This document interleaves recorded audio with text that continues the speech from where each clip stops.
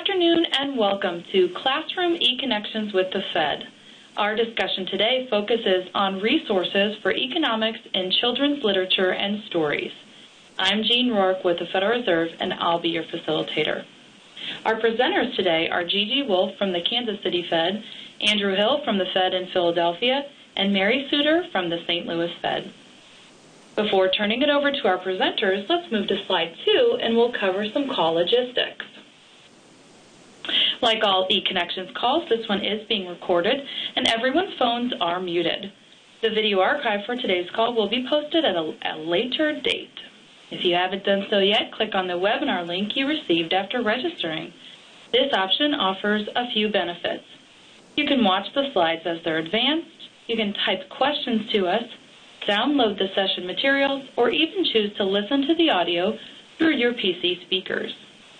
I would like to note that the webinar performance does depend on your connection, so if at any time you're having problems, just pick up the phone and dial the toll-free number. And as for questions, you can submit them at any time by clicking on the Ask Question button in that webinar tool. And now, I'll turn our call over to the first presenter, Gigi Wolf.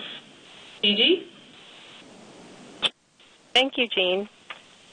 Before sharing a few of the resources that have been developed by the Kansas City Fed, I'd first like to draw everyone's attention to our system-wide website where we're able to, or where we host all of our financial education, economic education materials and resources that are classroom ready. If you haven't been to the site, we encourage you to visit it uh, where you can search for materials by topic, grade level, um, format, and much more. All of the information that we'll be sharing with you today can also be found at federalreserveeducation.org. Now I'd like to share resources that have been developed out of the Kansas City office that are tied to children's literature as well as resources that um, are appropriate for an elementary audience. Before doing so, just wanted to mention that um, we know how integral reading and literature are in elementary education. So those of us who have developed lessons in this area are looking to infuse economic concepts, personal finance concepts, to help students understand the economic way of thinking, um, how to uh, manage their money, um, through these through these activities. The first one I'll share with you today is called Financial Fables. This is a series of online ebooks. It's similar to um, Aesop's fables or other fables that you might be familiar with, um, but there's a twist. Um, the lesson or the moral of these um, stories is um, there's a money message uh, where the fun animal characters learn about how to better manage their money. Um, students can either read the stories themselves or have the stories read to them. There are four um, stories within the series. Penny Pigeon focuses on savings. Olivia Owl focuses on comparison shopping and smart spending choices. Percy Peacock um, is focused on using credit wisely. And Oscar Ostrich learns about investing and setting financial goals. Each story comes complete with a lesson and complementary activities to help cement these concepts um, and objectives for students. There are also extension activities available for each of the stories, and the activities are separated by pre-K to second grade, and then third through fifth grade, respectively. So these activities can also be done um, at home uh, with parents. The next resource um, I'd like to share is uh, tied to our entrepreneurship in the classroom suite. We have developed a series of um, classroom ready materials that tie into the concept of entrepreneurship that help to develop students' awareness of entrepreneurial concepts and ways to apply innovative thinking, leadership skills, and other characteristics um, that tie into um, owning a business and being an entrepreneur, even if they don't plan to pursue this um, in the future. So if you go to our website, you can see the series um, laid out on the page that's uh, like what you're seeing here on the slide, where you can access each of the resources that are part of this suite, um, including a description of each and the appropriate grade levels. The ones I'll focus on today are the ones tied to um, elementary.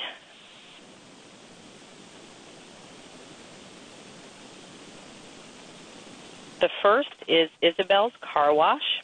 This is appropriate for grades 3 through 6. And um, it's about a story about a little girl who has a savings goal. She's saving for a doll, um, but doesn't have the funds.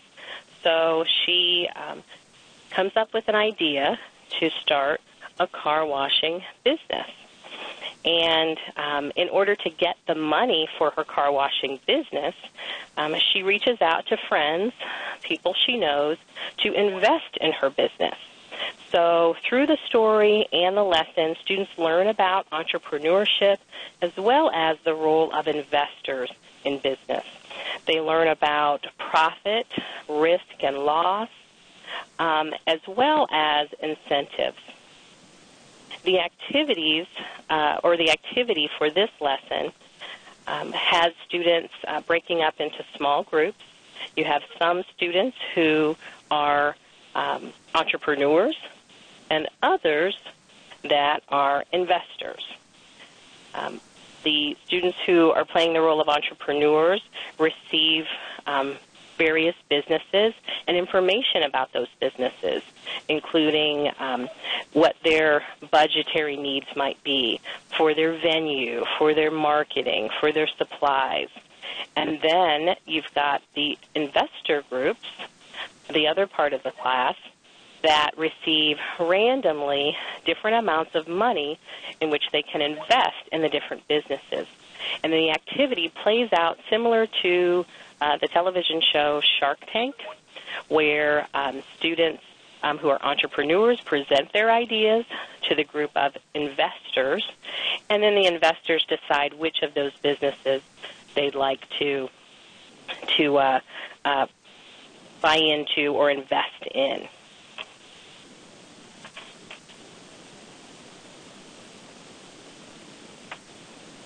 The next lesson is based on the book Sweet Potato Pie. This is appropriate for grades 3 through 5, and it includes information about entrepreneurism, um, what entrepreneurs should consider before starting a business, also the division of labor, um, and risks and rewards tied to owning a business.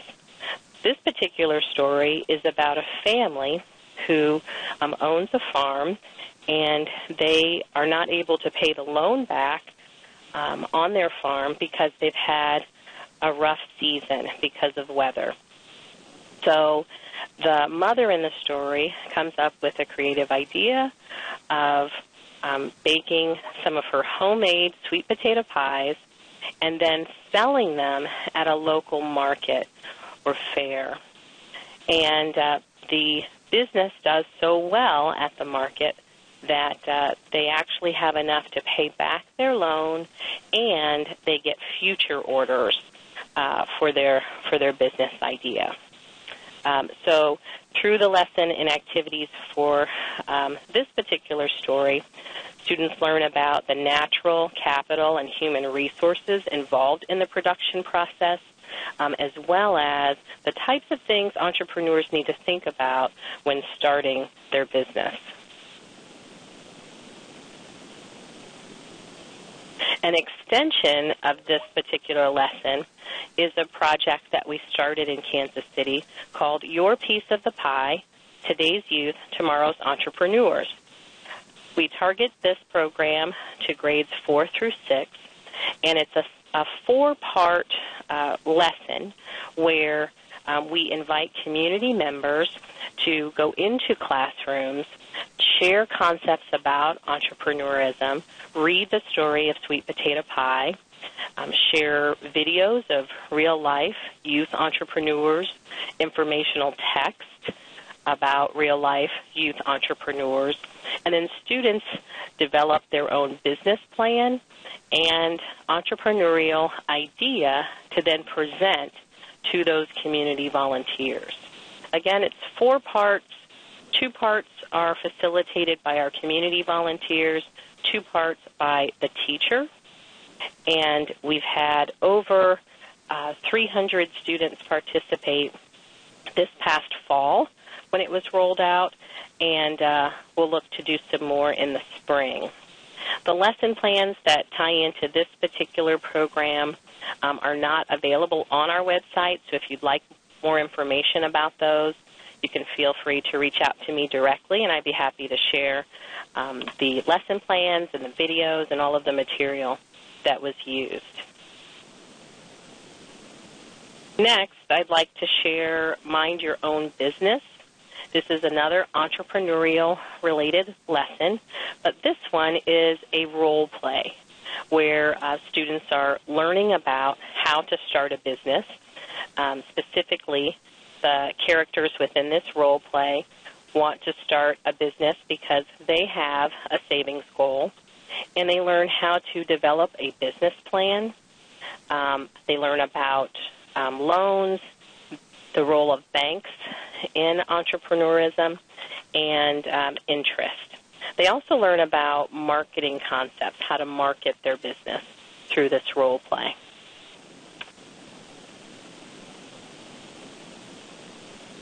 Another children's literature lesson that we've developed out of Kansas City is tied to the book Bunny Money.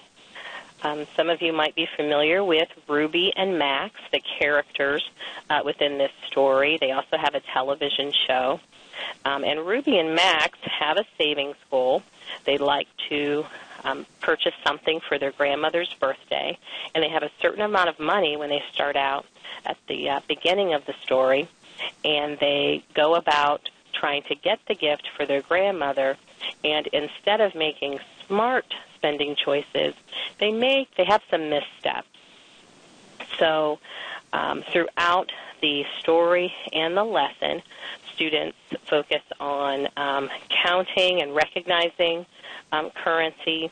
They also identify short versus long term savings goals. Um, and then they have an opportunity to illustrate their own savings goal as part of the lesson.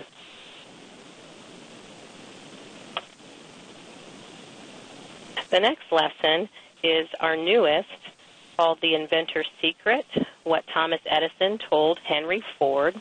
It's a story about two American innovators who were lifelong friends. Um, and students learn about the two men, the products that they uh, developed, and then how consumers were affected um, by their production and um, or how consumers affected their production and price setting um, of their products. So through the story and activities, um, students learn about inventions such as the electric pen, the phonograph, the electric light, and the early version of the car. The lesson is inquiry based, and students have an opportunity to investigate and problem solve issues within their own community and coming up with creative solutions to address them.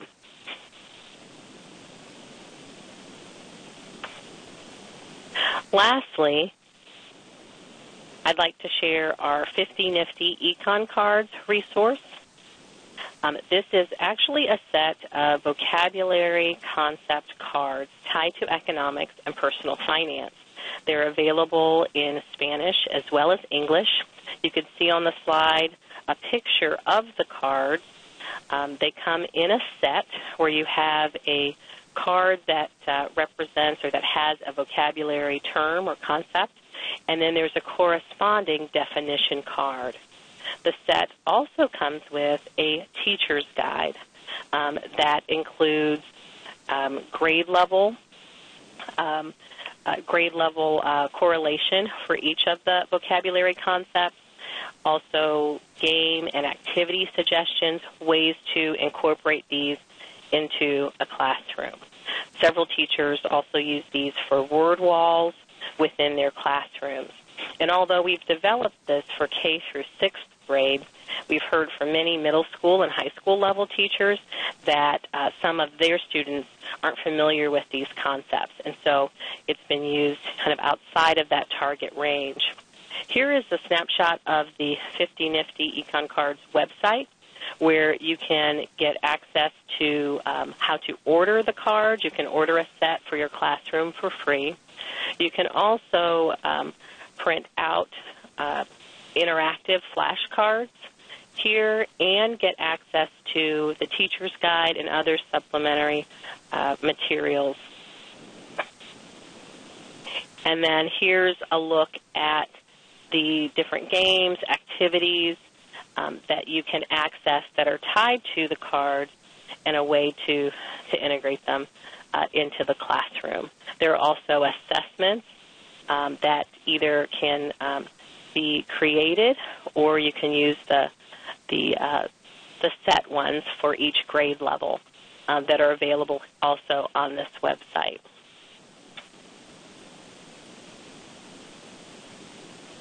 So next, I'd like to turn it over to my colleague, Mary Suiter at the St. Louis Fed. Thanks, Gigi. Um, yeah, I'm Mary Suiter from the St. Louis Fed, and I'm going to share some resources that we have at the, developed at the St. Louis Fed for use in elementary classrooms. Um, I'm going to begin with Kiddynomics, an economics curriculum for young learners. And I'll, I'll just point out that we know that um, young people have a lot of misconceptions about the economic world in which they live.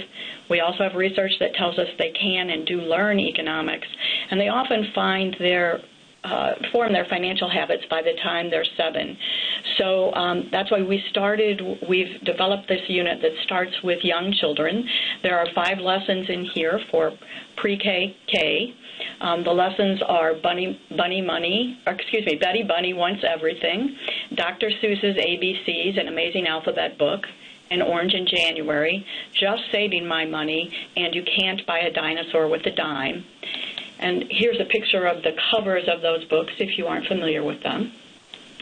Um, one of the reasons that uh, we developed this unit is also because we've we want to incorporate literacy, as, as Gigi mentioned, uh, school readiness skills. So all of the lessons in this unit are aligned with kindergarten readiness skills.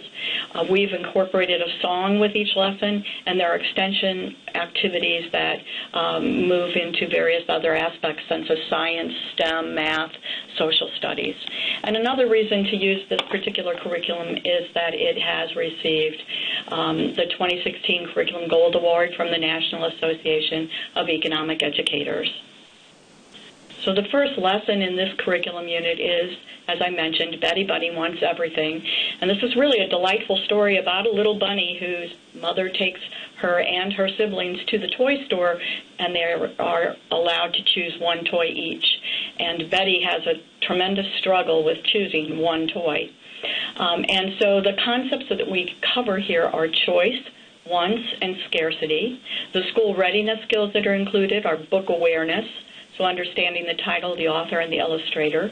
Within the lesson, one of the activities involves the students in counting in sequence from 1 to 10. They also are involved in an activity in which they match pictures, like pictures in a set of five. Um, they attempt to write the letters in their own name and they work on an understanding of the concept of more or less with up to five objects. Of course, in this story, Betty isn't willing to make a choice. She wants everything, and she tells her mother she wants everything she wants, and her mother tells her she can't have everything she wants. So it's really ideal for teaching choice and scarcity. Um, the lesson also, as I mentioned, includes a song, and this particular song is a song about choices, and it's written to the tune of My Bonnie Lies Over the Ocean.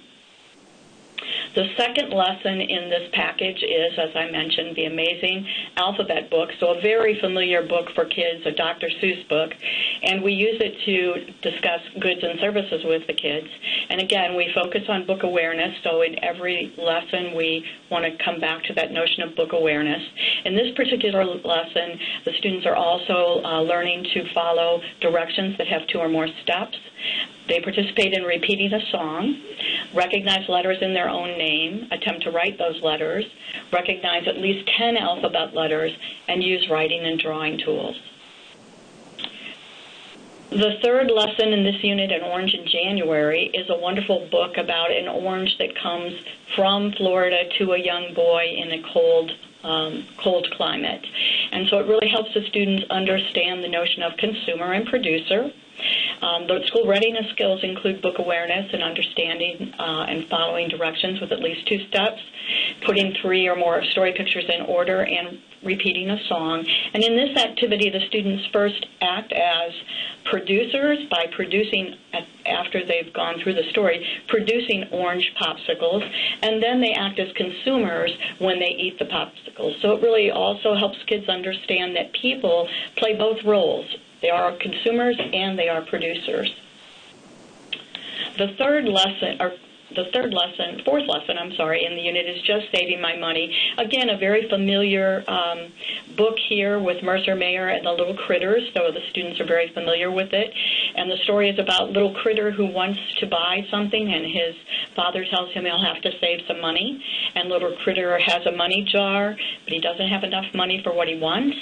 So his dad suggests that he earn some money and he tries to do some jo- jobs to earn money. When he gets his jar full, he gets to take it to the bank and his dad helps him open an account at a bank. And so this gives us an opportunity to have students think about banks in their community. Um, they also recognize coins, talk about the shape of coins, the size of coins, the color of coins, and they develop patterns within this lesson using coins to practice their pattern skills. So you'll see the school readiness uh, skills include many that we've already identified, but in addition to that, classifying objects, um, recognizing, copy, repeating pattern sequences. They use scissor skills here because they cut out they draw a goal for themselves inside a piggy bank and cut out that piggy bank and display it on the wall. Um, they also um, use writing and drawing tools in this lesson. And this lesson, once the students have created the piggy bank item, that goes on the wall and stays on the teacher's wall. And then um, it's used in the next lesson as well. Um, and another piece that happens in this lesson is the students have a picture of a bank and they draw a picture of themselves going to the bank, just as little critter goes to the bank with his parent in the book. Here we go. Thank you. Okay, and the next lesson is you can't buy a dinosaur with a dime, and this one reinforces the notion of saving, but we also talk about spending in this lesson. Uh, this is a little boy, again, who wants to use the money from his piggy bank uh, to buy a dinosaur, a toy dinosaur at the store. And um, he does that, and then he's concerned because he doesn't have much money anymore. So he also earns some income save some money, and then makes another decision about how to spend that money. And within this lesson, there's a second story about a little alligator who wants to buy something for five cents.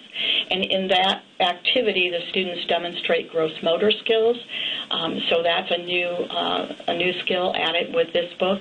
Uh, they also recognize details of a story as they appear in the beginning, middle, and end with this lesson, and again, we have a song with this lesson. So this is a nice, le- nice five lessons that you can use. They are uh, easily divided into 15-minute segments, so a preschool or kindergarten teacher might use these over a, several weeks um, as they integrate these various ideas into the classroom. I'm going to move on then to some other resources that we have. Um, the St. Louis Fed has over 51 lesson plans that are written to accompany particular children's stories for grades K through 8. And we have 31 SMART and Promethean board activities to accompany those lessons. Those are all free and available, downloadable from the website. You can also find them at fre.org, as Gigi mentioned. Um, I'm just going to show you a cover. I can't possibly show you all 51 lessons. So I'm going to show you some of the covers we have here in hopes that you'll recognize some of these great stories. Peanut Butter and Cupcake looks at complements and substitutes. My Side of the Mountain for middle school students looks at investment in human capital. A Chair for My Mother, saving, income, uh, savings goals. Glow Goes Shopping is a lesson on decision making make uh, how to make an apple pie and see the world is about resources. Beatrice's goat is about saving and spending. Sky Boys is about investment in human capital and the use of capital resources. Sheep in a Shop is about barter. Um, Andrew's going to touch on Saturday Sancocho in just a minute. One Hen is about uh, entrepreneurship and um, income. So we have a variety of lessons there. This is just a sample. As I said, there are 51 out there. I'm going to talk just a minute about one specific lesson. Uh, one that's very popular for us is Less Than Zero. It's a Stuart Murphy book, and his books are designed to integrate math. And so it, it gives us a nice combination of literature and math here. Um, this is a story about Perry the penguin who wants to save for an ice scooter, and um, so the story is really fun uh, for kids to read. Uh, the calamities and the things that happen to Perry as he attempts to to reach that goal of buying an ice scooter. The book is appropriate for grade levels two to four, and it covers borrowing. The lesson covers borrowing, interest, saving, and savings goal. And the students will be able to, as a result of doing the lesson, define borrowing, savings, savings goal, and interest.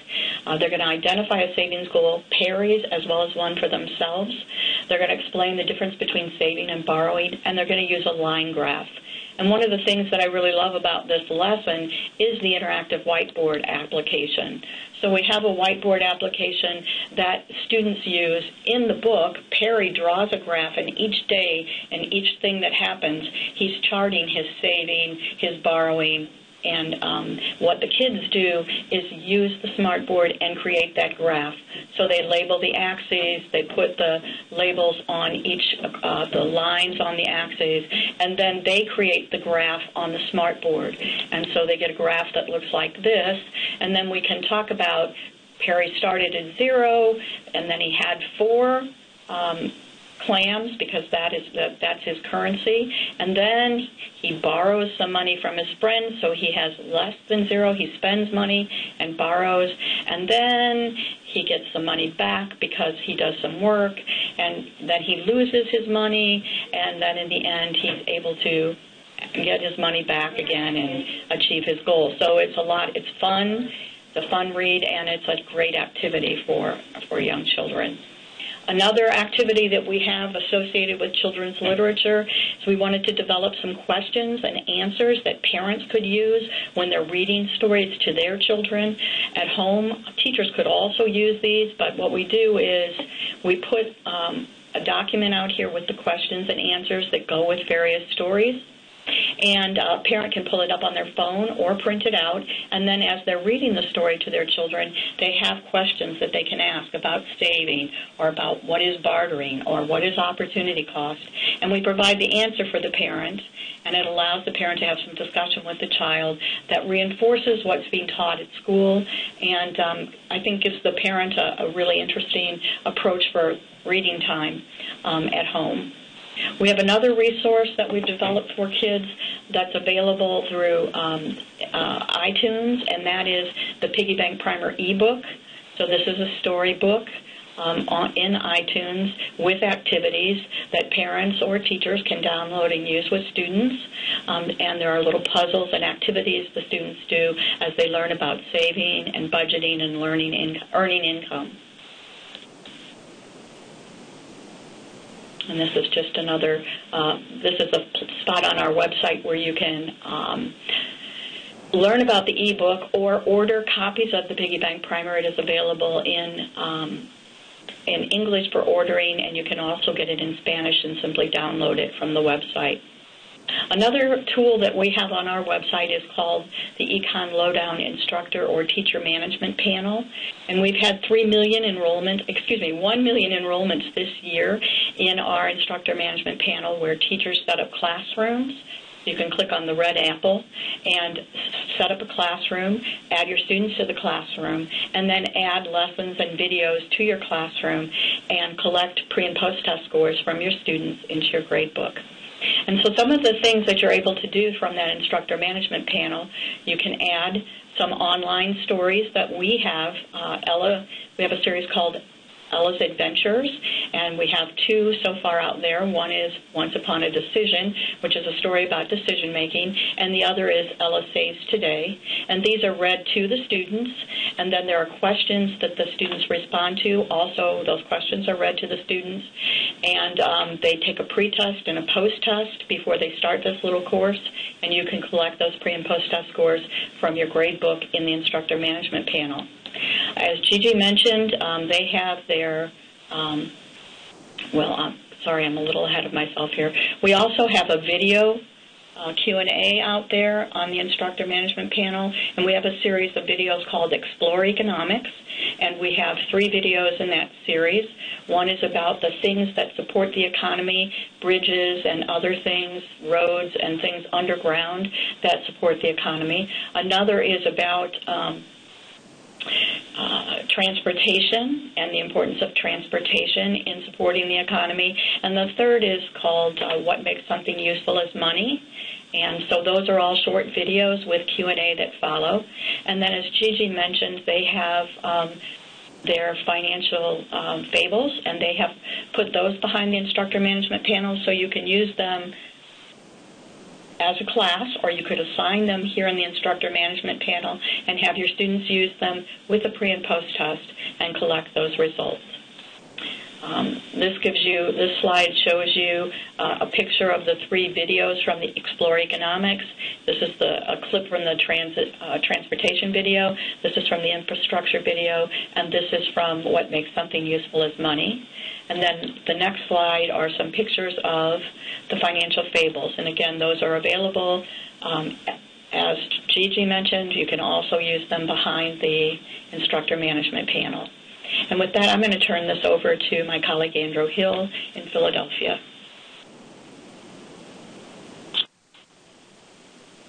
Thank you, Mary. Um, I'm really glad to be able to be here with everyone and to talk a little bit about some of the lessons that um, I've been involved in producing. Um, so I think I have four lessons here that I'm going to share with everyone. The first one that I want to talk about is Uncle Jed's Barbershop. This is a really popular um, book that's uh, widely available um, by Margaree uh, King Mitchell. We had a great opportunity to meet her a number of years ago at the National Council on the Social Studies, so it was a really great honor to get a chance to meet her after I had worked on this lesson. So um, this lesson's for um, 9 to 11 year olds. Um, and I'll talk a little bit about the concepts that are covered in the story and in the lesson in the book, uh, the book's about an African American barber who, despite significant setbacks, and it's set um, in the 20s and 30s, he saves enough money to eventually buy his own barber shop. One of the setbacks is that his niece, who's there uh, in the picture on the cover of the book, um, she has a, a health problem that requires him to uh, actually cash out his savings to help her um, uh, her hospital bill, her surgery that she needs, and then also he he faces uh, a a bank failure in which he loses all his money during the depression. Um, so the concepts that are covered in the lesson include saving and savings goals and opportunity cost, and of course as well segregation and talking about issues of segregation in the book. I'll talk a little bit about the activity that we developed that goes along with the story. Um, so in this activity, the students are actually uh, drawing cards from a deck of cards that you produce, so they work in groups doing this.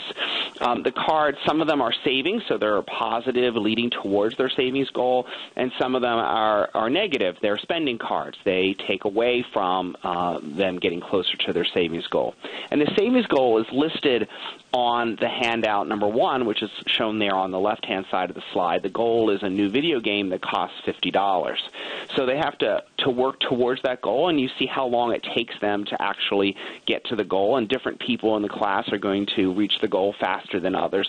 And then there's a nice discussion about what it takes in order to reach a savings goal. That um, um, that sometimes things come up, and that that can have a negative effect on the amount of time that it takes you to get to your savings goal. But that um, hopefully over the long term, people can reach their savings goal by by saving and not spending. Um, I'm going to show another set of cards here just so you get to see some of the other ones that are there. Uh, there are some that lead towards uh, the savings goal and some that are spending that uh, keep you from reaching the savings goal as fast as you otherwise would. I want to talk about another book that I worked with um, called Tortilla Factory, and this lesson again is available on FederalReserveEducation.org as well as on the St. Louis and Federal Reserve Bank of Philadelphia websites. Um, so this is the book uh, Tortilla Factory by Gary Paulsen. This is again for oh nine to ten year olds, something like that. In this book, um, we're looking at a number of issues around production. Um, so there's actually the cover of the book. And I'm going to do what we would do uh, in an in-person training, which is to go ahead and actually read the book to you. It's relatively short, um, and it gives you an opportunity to see the types of children's books that we're using, and hopefully you'll get to see the economics concepts, um, which are the various productive resources that are used in producing tortillas. So the black earth sleeps in winter. But in the spring, the black earth is worked by brown hands that plant yellow seeds, which become green plants rustling in soft wind, and make golden corn to dry in hot sun and be ground into flour for the tortilla factory where laughing people and clank clunking machinery mix the flour into dough and push the dough and squeeze the dough and flatten the dough. And bake the dough into perfect discs that come off the machine and into a package and onto a truck and into a kitchen. And eaten by white teeth to fill a round stomach. And give strength to the brown hands that work the black earth. To plant yellow seeds which make golden corn to be dried in hot sun and be ground into flour.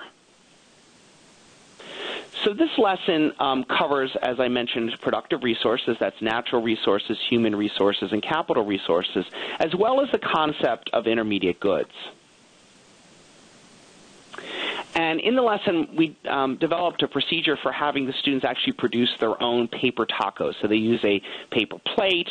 Um, they each get a set of cards that are produced out of handout one there, which I've shown on the right-hand side of the slide. Um, and so they actually color in um, the different cards uh, based on the directions that are on the visual. Uh, then they actually cut out the the the the ingredients from the cards, and then they're able to glow, glue them onto the paper plate.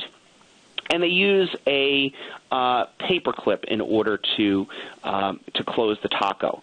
So then you have a discussion about which of the resources are intermediate goods, which of the resources are are, um, are capital resources, uh, which are natural resources, and who are the human resources. So you classify then the resources that are used in producing these paper tacos.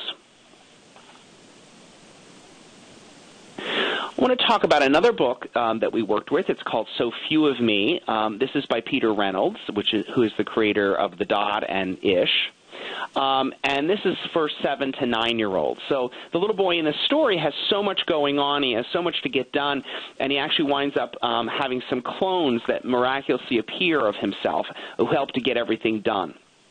And so this gives a really great opportunity to discuss the issues of scarcity, of alternatives, of choices, and of opportunity cost. So we developed an activity that the students work on um, as an entire class where um, you're trying to figure out for Perdita, a character that we created, uh, what her morning schedule is going to be like at summer camp. So she has a number of different options for each time slot, and she has to, the class has to identify what the choice is going to be for her, and then importantly, identify what the opportunity cost of that choice is going to be. And then the second activity has students working on a handout together in groups where they make decisions and identify the opportunity costs for another character, Juan, for his after school schedule. And I'll show you what those handouts look like. First, um, on the board, you actually create this schedule with the different time slots. And then there's a spot for the choice to be actually taped onto the board, and I'll show you what the choices look like on the choice cards. And then write in and explain what the opportunity cost is. So I'll show you what these um, uh, visuals look like, these handouts look like that you create ahead of time. You print these out, um, and then you uh, cut them out and fold them along the dotted line. So this now gives you a card with, for instance, on the case of the handout on the left-hand side, swimming on one side or arts and crafts on the other. So then the students in the class can vote or otherwise decide uh, what it is that Perdita is going to do in the 8 o'clock to 9 o'clock time slot, and then uh, you tape that up onto the board and then, of course, identify that the other option is the opportunity cost. So this is a two alternative um, uh, choice, uh, which leads then to uh, one item being chosen or one one possible activity, and the other being cho- uh, being the opportunity cost, the next highest alternative. So there's a set of those that are available in the lesson. And then this is what the Juan activity looks like. Here again, the students are uh, taking turns in their group, choosing what it is that Juan's going to do after school, and then identifying uh, what is the opportunity cost.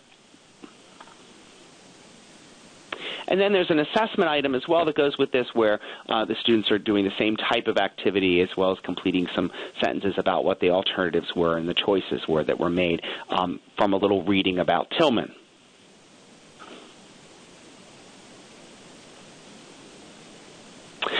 I want to talk as well about um, a lesson we developed for Saturday Sancocho. This is a book by Leyla Torres. This is for 8 to 10 year olds. This has been extremely popular lesson that we have used over and over again um, in our training programs for teachers, and teachers have wa- used widely. This is a great reading rainbow book. The students listen to a story um, about uh, a young girl and her grandparents. Uh, they go to the market to actually barter um, for all the items that they need, all the ingredients they need to make this chicken stew, this chicken sancocho. Um, the students in the activity in class get uh, barter cards where they actually get to barter for for major ingredients for the chicken sancocho themselves, so they get to see what barter is like, uh, and then they discuss what some of the difficulties are that are associated with uh, with barter. And then um, they use money uh, in another round to do the same activity to, again, get the ingredients for the chicken sancocho. But in this case, instead of using barter, they use money, and they get to see the differences about between using money and using barter. So it's a great opportunity to, again, show students how those two different kinds of exchange take place. So these are the cards, what they look like. Uh, you produce these on colored um, cardstock. Uh, you could certainly laminate them as well, and that gives you the opportunity um, to, to have a great set of cards that make it easy for students to trade. And then you see the money cards that get used in the second round. So a really great lesson for, first of all, hearing a story about barter and understanding why that would be difficult, and then also learning how money can make barter, make exchange easier. So, uh, Jean, we're going to turn it back to you and find out if there have been any questions that we can answer from folks on the line. All right, thanks so much for that, Andrew. We have gotten a couple of questions, which I will read in just a moment, but I want to remind our participants they can submit their questions through the webinar tool. Just click that Ask Question button, and when you type that in, we'll get those queued up for Gigi and Andrew and Mary today. So let me start with our first question. Uh, and it reads, Where do I get the books that go with these lessons? Um, so I'll, I'll take a crack at that one. So um, they're often available in your library, your public library. Often the school library has these books. You can get them on Amazon or Barnes and Noble. Frequently, you can buy used copies very inexpensively, um, and uh, so uh, a number of sources. Andrew and Gigi, I, I don't know if you have any other that I didn't mention. Occasionally, some of the books um, have actually been uh, in the anthologies that are used actually uh, in the classroom that are coming from the major textbook companies. So when that happens, that's exciting. I don't, off the top of my head, remember which specific ones, but that's that's an exciting thing as well. Right, and sometimes if you're getting a scholastic order, they will be available. So a couple of times we've had one of our books be available through Scholastic, a special deal for a dollar. Um, so you can keep an eye on that too as an opportunity. All right, we'll move to the next question.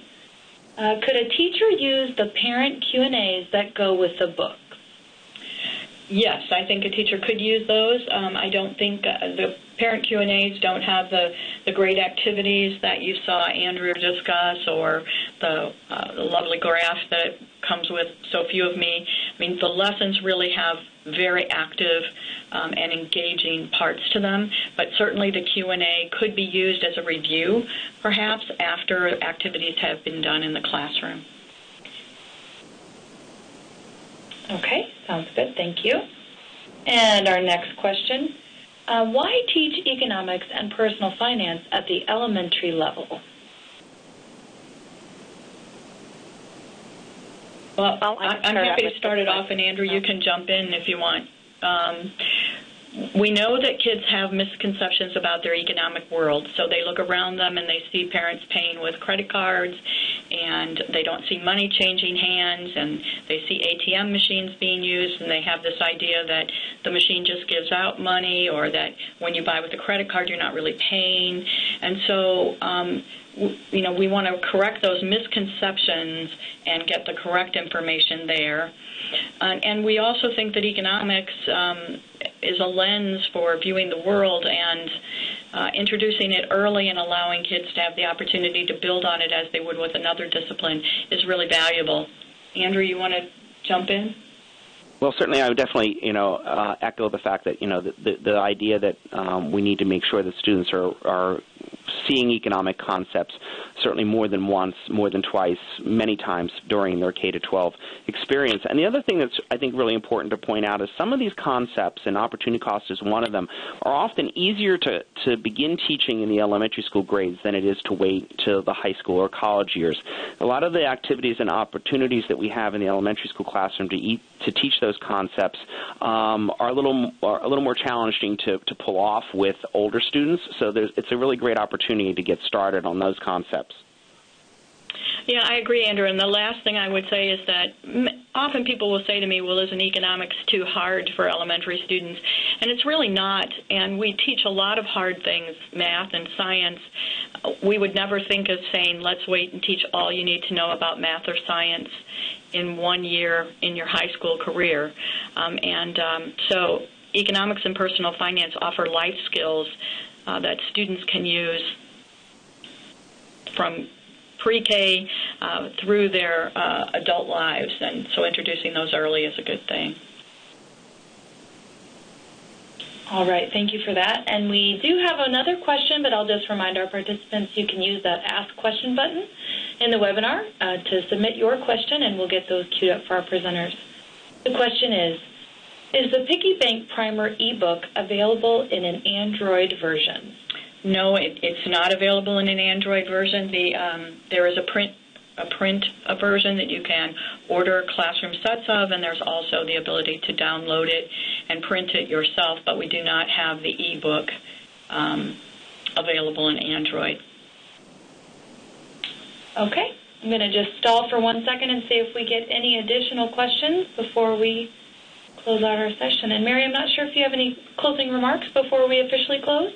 Well, I would just remind everyone that, as Gigi said at the beginning of this, all of these lessons uh, and other resources are available free for your use and for downloading at uh, federalreserveeducation.org. Um, so um, please go out and take a look at those. Um, I would also encourage you to um, use the Econ Lowdown Teacher Portal um, and use some of the videos and uh, stories that are there as well. All right, thanks so much for that. And if you joined us in the webinar, you likely saw a survey link pop up on your screen. Please do take a moment to complete that and let us know how we did.